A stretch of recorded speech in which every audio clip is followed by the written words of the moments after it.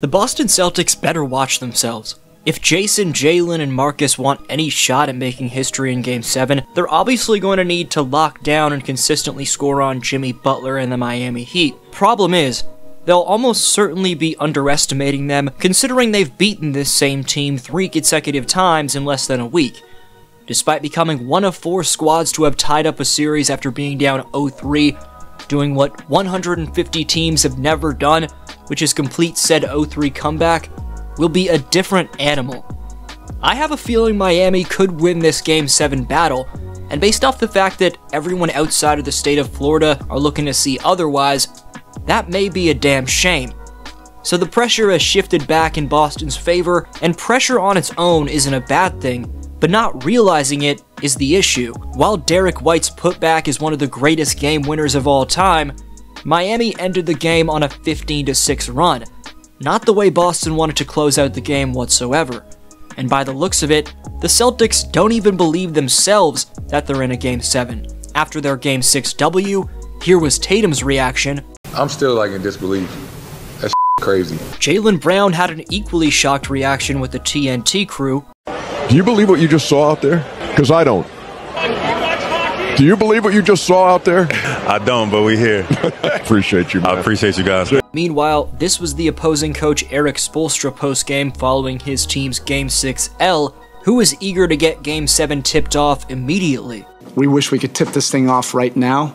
Right now, we want to tip this thing off and let's play another 48 minutes, but we'll wait 48 hours and uh, and do this thing in Boston. Here was Jimmy Butler, who felt confident enough in the narrative shifting drastically that he guaranteed a Miami W. Um, I'm not going to let anybody quit. I'm not going to let our guys quit. I don't give a damn what happens. We're going to go in there we're going to win. Thankfully, if you're a Celtics fan, in my one-on-one interview with Jayson Tatum, while I showed you the second part to it in this video right here, which you can go watch after this, in part 1 of said interview, JT revealed the secret potion that's helping him go off in elimination games. Just take a listen. Uh, yeah, I, I, I, I'm on a drug culture machine. It's not available. If you try it once, you will die. Your face will melt off. You control the me, roll your exploded body, roll your body.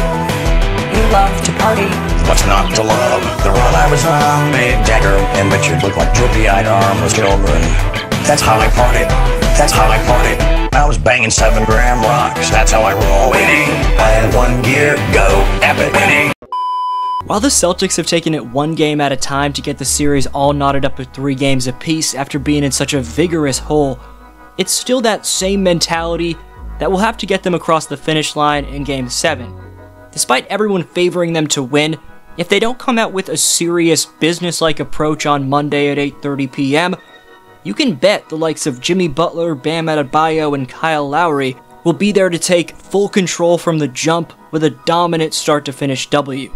If the Celtics want to avoid that outcome, getting overconfident, feeding into the hype that everyone's fine after tying it up, or even the slightest bit of complacency, quite simply can't be present.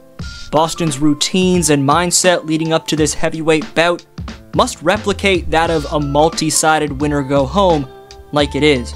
Jimmy Butler lost game 7 to Boston last year in a game that came down to one shot.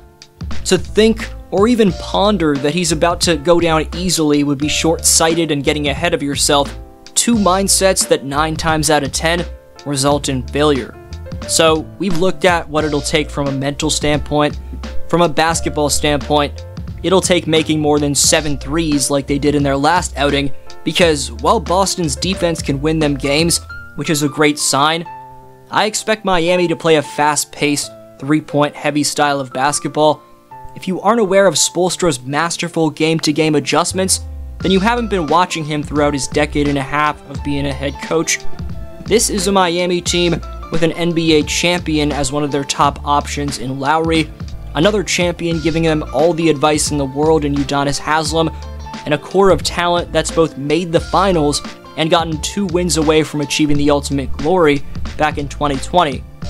More importantly, they have a two time NBA champion as their man in charge, whose Game 7 adjustment will center around shutting down number 0 Jayson Tatum after the man dropped 31 last game. This entails Jayson needs to focus on getting to his bread and butter early and often in terms of getting downhill, and if the Heat block that off, like they'll also attempt to with his perimeter game, then Tatum needs to fully lock in on passing out of early doubles, blitzes in the pick and roll, or late traps as much as he can. We've seen Tatum struggle with that at times in this series, but if he's making lazy passes like he did in those games, Boston won't stand a chance in Game 7. If you don't believe me that the Heat are about to lay everything out there and give it one hell of a shot in this Game 7, then that's your complacency talking, which I'm currently trying to talk out of any, if not every Boston Celtics organizational member listening to this video. It's important that Boston dictates the tempo from the jump. They don't necessarily have to throw the first punch, although it'd be nice, but they can't be playing careless basketball. They have to value possession at all costs, and they must commit to sharing the rock and getting swing swing, entry type movement in the half court. If Miami's allowing you to push the pace, then do it, but I think it benefits them to play solid half court basketball and to trust the plays that Joe has to offer in his bag. Speaking of which, the play calling for Mazzulla has been notably exceptional as of late. However, it'll be Joe's mentorship vibe enhancement, and attention to detail in terms of reminding his team to do both the massive and little things in Game 7 that'll determine Boston's fate. Between the four lines, they'll need big games from both members of the front line, meaning Godfather Al Horford needs to keep his feet moving on the perimeter and communication up defensively, and Time Lord Rob Williams must have an elite defensive showing and be a lob threat, roles which he's more than accustomed to fulfilling. Godfather and Time Lord also must be actively engaged in terms of setting fundamental yet impactful big body screens to free up the likes of Smart, Tatum, and Brown. Most importantly, those bigs need to be actively engaged on the glass to grab boards in traffic, with pesky rebounders like Lowry and Butler lurking in the vicinity. How quick and nimble Rob and Al's hands are in terms of snagging those rebounds will be another massive determining factor, with both teams expectedly fighting their asses off with a chance to play in the finals. With that said, the vibes for this Boston team have reached level 100, as this was Tatum post-game. I love this team. I love this team. It was also a great scene to watch this huddle unfold in the locker room, with brothers Jayson and Jaylen showing their appreciation for one another.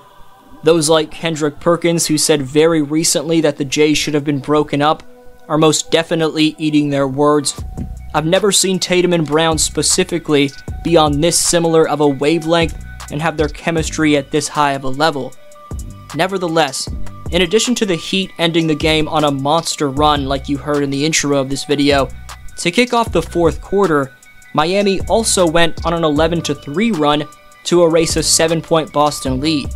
So the Celtics showed us all how not to close out a game. But none of that really matters now, because it's all about Game 7, which, like Game 6, is going to be a game of inches where it'll all come down to who executes just the slightest bit more. Execution in terms of their game plans, in terms of their shot making, and in terms of their hustle plays will be crucial.